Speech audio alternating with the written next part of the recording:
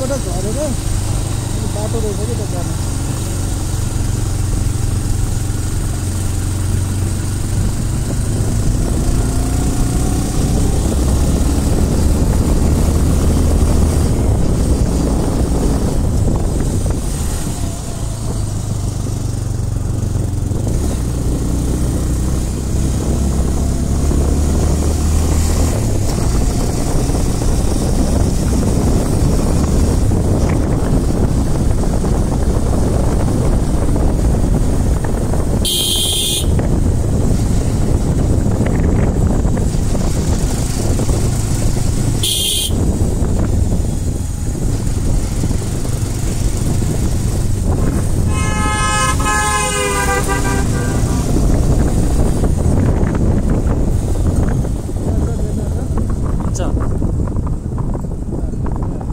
Would be a huge relief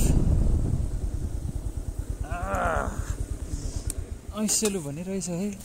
म त अस्ति नोटिसै नगरेँ।